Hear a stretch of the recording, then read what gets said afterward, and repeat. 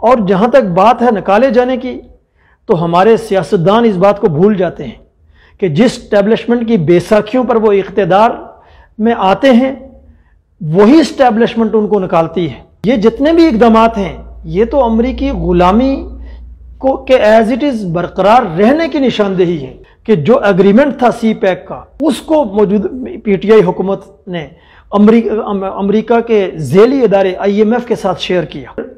रूस जिसके दौरे के ऊपर बड़ा अतराया जा रहा है, वहाँ भी कोई कंक्रीट एग्रीमेंट हमें नज़र नहीं आता।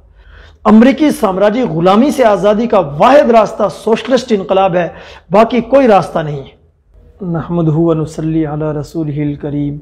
अम्माबाद फ़ाउज़बिल्लिमिनशैतवानरजीम बसमीम अन अबुदुल्ला वजतनबतागूत सदक़ल्लाज़ीम ए ला होती उस रिज़्क से मौत अच्छी। ए ला होती उस रिज़्क से मौत अच्छी।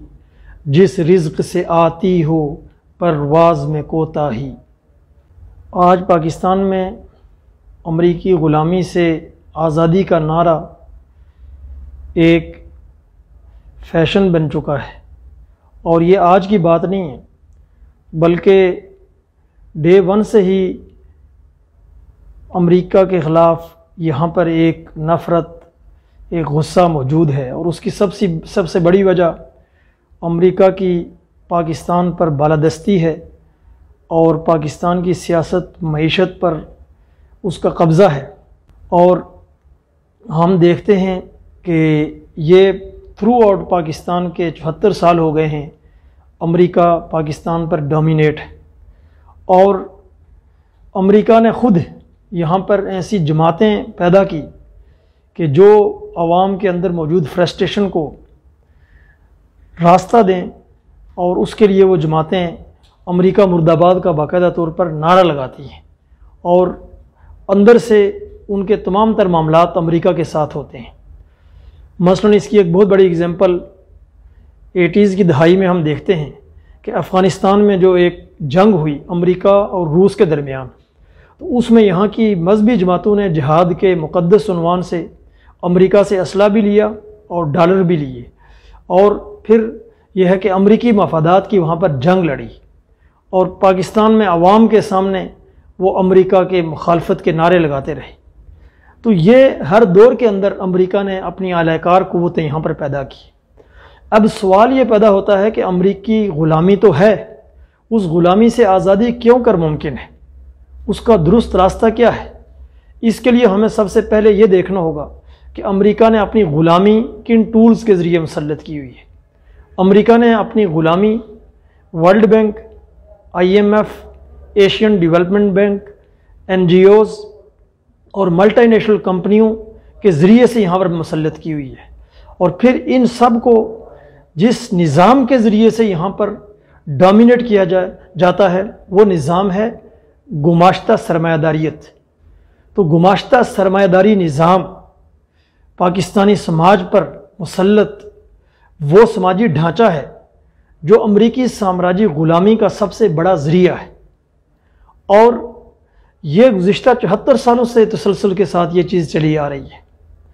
अब अगर हमने अमरीकी ग़ुलामी से आज़ाद हासिल करनी है, आज़ादी हासिल करनी है तो हमने देखना ये है कि जो भी ये दावा कर रहे हैं, उनके पास अमरीकी साम्राज्य ग़ुलामी के इन टूल्स से निजात का क्या कम्प्रीहेंसिव प्रोग्राम है? पाकिस्तान पर मुसलत गुमाश्ता सरमादारी निज़ाम के ख़िलाफ़ उनके पास क्या प्रोग्राम है? यहाँ पर World Bank, I M F multinational companies, NGOs का जो जाल बिछा हुआ है इससे निजात हासिल करने का उनके पास क्या प्रोग्राम है? और इसके मुतबादिल उनके पास क्या है? और अगर ये नहीं है तो ये महज अवाम के जज्बात का खिलवाड़ है, ये महज नारा है, सियासी स्टंट है। इसके अलावा इसकी कोई हकीकत नहीं है। क्योंकि अमेरिका का यहाँ पर जिस निज़ाम के ज़रिए से गलबा है, अगर उस निज़ाम को ना छेड़ा जाए तो अमेरिका को जितना मर्ज़ी गालियाँ दी जाएँ, उसे कोई फ़र्क नहीं पड़ता है। और इसकी एग्ज़ाम्पल हमारे माशरे में है कि यहाँ पर सबसे ज़्यादा नफ़रत और उसके ख़िलाफ़ गालियाँ दी जाती हैं, लेकिन यहाँ पर उसकी जो ग़ुलामी मसलत है वह आज भी उसी तरह से कायम है। तो इसी तनाजर में हम देखते हैं कि मौजूदा जो हुकूमत फारग हुई है पी टी आई की, उसका भी आजकल ये दावा है जी कि अमरीका जो है, उसने हमें यह है कि जनाब यहाँ ये यह हुकूमत जो है, उसकी साजिश के तहत ख़त्म हुई है। तो सवाल ये है कि पी टी आई हुकूमत ने गुज्त साढ़े तीन सालों में कौन से इकदाम किए कि जिसकी वजह से ये कहा जाए कि अमरीकी ग़ुलामी से उन्होंने निजात हासिल करके आज़ाद खारजा पॉलिसी और आज़ाद मीशत की बुनियाद रखी? क्या उन्होंने पाकिस्तान से गुमाश्ता सरमादारी निज़ाम को तोड़ने के लिए कोई इकदाम किए? क्या उन्होंने पाकिस्तान से मल्टीनेशनल कंपनियों के होल्ड को तोड़ने के लिए कोई इकदाम किए? क्या उन्होंने पाकिस्तान से एन के होल्ड को और उनके बिछे हुए जाल को तोड़ने के लिए कोई इकदाम किए? क्या उन्होंने पाकिस्तान में जो यहाँ पर आईएमएफ की ग़ुलामी मुसलत की है, ये अमेरिका से आज़ादी का इस्तारा है? तो ये जितने भी इकदाम हैं, ये तो अमरीकी ग़ुलामी को के एज इट इज़ बरकरार रहने की निशानदेही है। बल्कि उससे भी आगे बढ़कर अगर हम देखें तो गुज्त साढ़े तीन सालों में कुछ और भी इकदाम किए गए, जो अमरीका की सबसे बड़ी खिदमत थी। मसलन सी पैक जैसा मनसूबा, जो पाकिस्तान की मीशत के लिए रीढ़ की हड्डी का बायस बन सकता था, उसको जानबूझकर स्लो किया गया और उस पर चाइनीज़ ने बाकायदा शिकवा भी किया। और फिर सितम बाला सितम यह हुआ कि जो एग्रीमेंट था सी पैक का, जिसको खुफिया रखने का बाकायदा तौर पर तय था, उसको मौजूद पीटीआई हुकूमत ने अमरीका के झेली इदारे आईएमएफ के साथ शेयर किया, जिस पर चीन ने नाराज़गी का इजहार किया। तो ये इकदाम किस बात की निशानदेही कर रहे हैं? फिर ईरान, पाकिस्तान गैस पाइपलाइन माहिदा आज तक अमरीकी साम्राज्य की वजह से वो नहीं परवान चढ़ा। गुज्त साढ़े तीन सालों में क्यों नहीं उस पर अमल दरामद हुआ? फिर रूस जिसके दौरे के ऊपर बड़ा अतराया जा रहा है वहाँ भी कोई कंक्रीट एग्रीमेंट हमें नज़र नहीं आता। बल्कि इस वक्त यह है कि दुनिया की आज़ाद कौमें रूस की सस्ती तोानाई, उसका तेल और उसकी गैसेज वो ख़रीद रही हैं। लेकिन गुज्त साढ़े तीन सालों में पीटीआई हुकूमत ने कौन सा एग्रीमेंट किया इस हवाले से रूस के साथ, जो आज़ाद खारजा पॉलिसी की निशानदेही करे? तो ये महज सियासी स्टंट है, और जहाँ तक बात है निकाले जाने की तो हमारे सियासतदान इस बात को भूल जाते हैं कि जिस स्टैब्लिशमेंट की बेसाखियों पर वो इकतदार में आते हैं, वही स्टैब्लिशमेंट उनको निकालती है, जब उसके एजेंडे पर चलने से वो इनकार कर देते हैं। यही कुछ पहली हुकूमतों के साथ भी हुआ और यही कुछ पीटीआई हुकूमत के साथ भी हुआ। कोई नई चीज़ नहीं हुई है। और जहाँ तक बात है कि अमरीकी मुदाखलत की तो अमरीकी मुदाखलत यहाँ ख़त्म कब हुई है?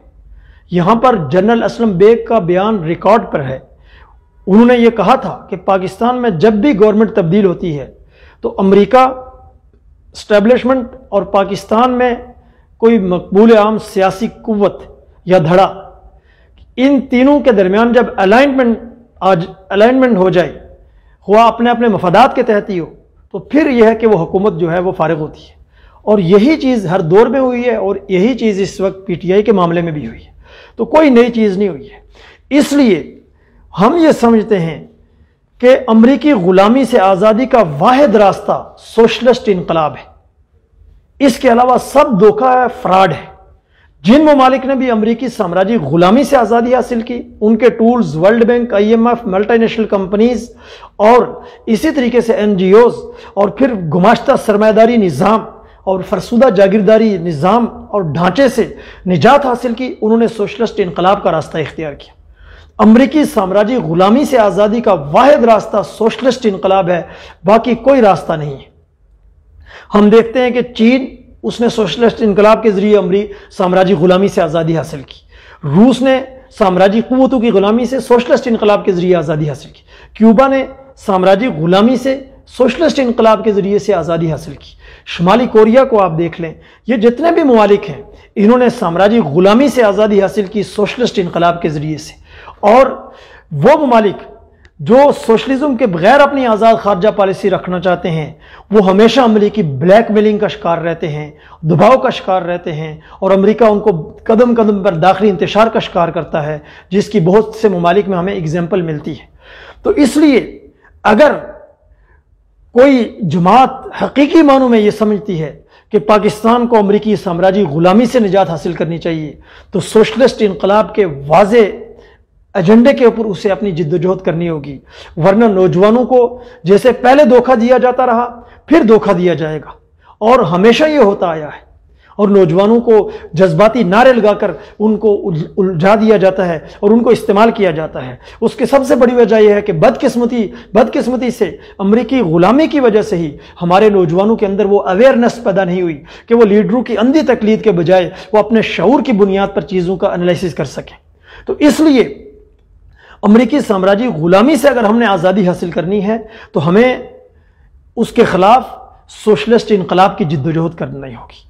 और मैं नौजवान, पाकिस्तान के वो नौजवान, जो पाकिस्तान की आज़ादी के ख्वाह हैं, खुद मुख्तारी के ख्वाह हैं, उसकी डिग्निटी और वक़ार के ख्वाह हैं, और वो चाहते हैं कि पाकिस्तान भी दुनिया की अकवाम के अंदर बावकार अंदाज में शामिल हो, और हम सब सीना फ़ख्र से तान कर दुनिया की अकवाम के साथ कदम मिलाकर चल सकें। उनकी लीडरशिप की सफ़ों में जा सकें। तो उनके लिए ये पैगाम है कि यूनाइटेड पाकिस्तान पाकिस्तान की सरजमीन पर वो वाद सियासी इनकलाबी क़वत है, जिसकी वाज और दो टोक आइडियालॉजी ये है कि हम पाकिस्तान की सरजमीन से गुमाश्ता सरमादारी निज़ाम, फरसुदा जागीरदारी निज़ाम और अमरीकी साम्राज्य गलबा और बालादस्ती को शाह वलील्ला के फ़लसफ़े और फ़िक्र की बुनियाद पर सोशलिस्ट इनकलाब की फौलादी क़वत के ज़रिए से पाश पाश कर देंगे और यहाँ पर नया समाजी ढांचा कायम करेंगे, जो हमारी कौम को हकीकी मानों में अमरीकी साम्राज्य गुलामी से आज़ादी दिलाए। और यूनाइटेड पाकिस्तान के उलम नौजवान